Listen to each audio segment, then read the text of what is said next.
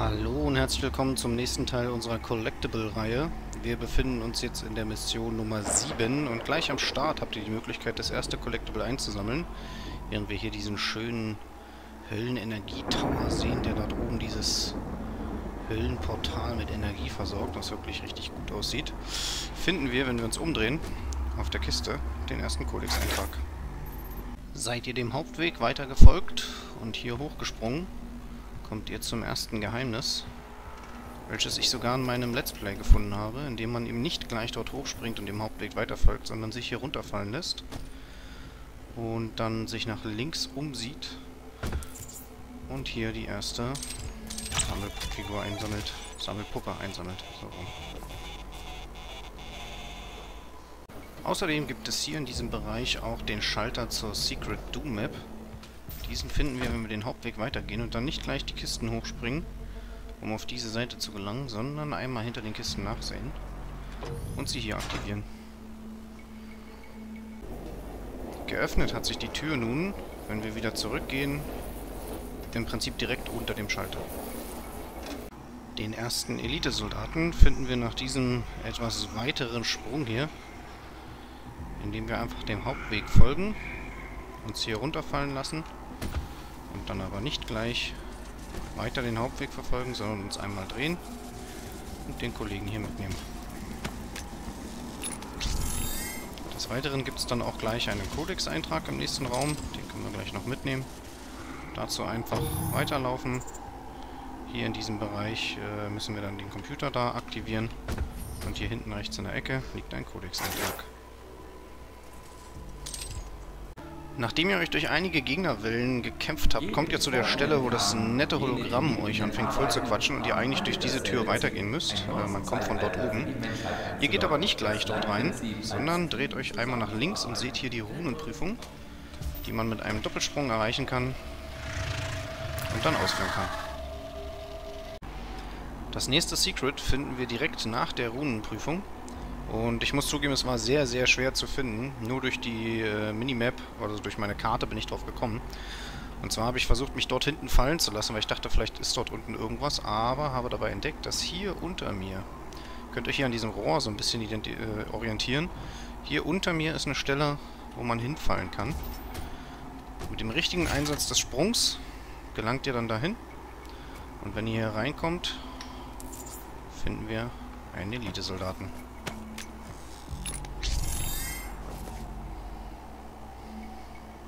Wenn ihr hier in diesem großen Eingangsbereich alle Gegner geklärt habt, wir kamen von dort hinten und müssen durch diese Tür, könnt ihr euch einmal auf der rechten Seite orientieren, auf der es die Karte gibt für diesen Abschnitt. Und dann all the way around, auf der linken Seite hier, gibt es den nächsten Codex-Eintrag. Das nächste Geheimnis finden wir hier in diesem Bereich. Nachdem ihr alle Gegner geklärt habt und diese Sphäre, die hier eigentlich leuchtet, dazu benutzt habt, ähm, die ich immer gerne vergesse, könnt ihr hier einfach hochspringen und findet den nächsten Elitesoldaten. Nachdem ihr in diesem großen Hangarbereich alle Gegner geklärt habt, und passt auf, es kommen eine Menge Gegner, findet ihr auf der anderen Seite der Brücke den nächsten Codex-Eintrag. So, nachdem ihr hier in diesem großen Hangarbereich auch wieder alle Gegner geklärt habt und äh, es sind auch wieder eine Menge, holt ihr euch als allererstes die Kiste ran mit diesem Kran hier. Und dann finden wir das nächste Secret da oben. Ich habe einfach mal ein bisschen nach grünen Lichtern geguckt und das dann gesehen. Man sieht am Anfang, wenn man hier durch diesen Tunnel geht, eine Felddrohne wegfliegen. Die startet dort und genau diese werden wir dort oben finden, weil sie genau da hingeflogen ist. Yay! Das nächste Secret hatte ich sogar in meinem Let's Play gefunden, was ja nicht sehr häufig auf jeden Fall vorkommt. Äh, dazu geht ihr, wenn wir hier aus diesem Hauptweg kommen, nicht gleich nach rechts unserem kleinen Freund hinterher, sondern lauft erstmal links, klärt hier die Gegner, findet dann hier ein bisschen Munition und Rüstung, hier drüben auch nochmal ein bisschen HP und Munition und wenn ihr diesen Weg weiter verfolgt, eine Runenprüfung. Das nächste Secret finden wir, wenn wir dem Hauptweg weiter folgen. Und wir sehen es auch schon hier oben. Es ist eine Argent-Zelle. Nachdem ich ungefähr 10 Minuten probiert habe, hier irgendwie hochzukommen, Da habe ich dann herausgefunden, dass man das von der anderen Seite machen muss. Und zwar, wenn ihr auf dem Weg zum Blutnest seid, welches uns dort oben erwartet, kümmert ihr euch nicht gleich um das Blutnest, sondern dreht euch einmal rum und hüpft von hier aus auf die Seite. Und so gelangen wir zur Arschenzelle. Nachdem wir das Blutnest geklärt haben, finden wir hier den nächsten Codex-Eintrag. Ungefähr genau dort, wo das Blutnest stand. Und wir können auch gleich das nächste Geheimnis finden, indem wir in diesen Raum gehen und uns nicht gleich die Karte holen, sondern hier oben in dieses kleine versteckte Kabinett reinspringen.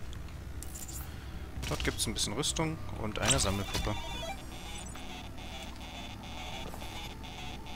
Das letzte Geheimnis finden wir, wenn wir den Fahrstuhlschacht mit der gelben Keykarte herunterspringen und dann, bevor wir hier weitergehen, uns einmal umdrehen und in diesen Schacht springen.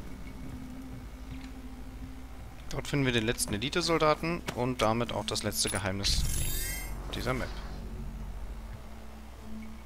Ja, und wie ihr sehen könnt, haben wir damit auch wieder alle Secrets und äh, Errungenschaften erhalten. Was mich ein bisschen wundert, ist, dass ich nicht ganz die Kampferrungenschaften geschafft habe, obwohl ich eigentlich jeden Gegner, der mir begegnet ist, getötet habe. Aber okay. So haben wir die Mission 7 erfolgreich beendet.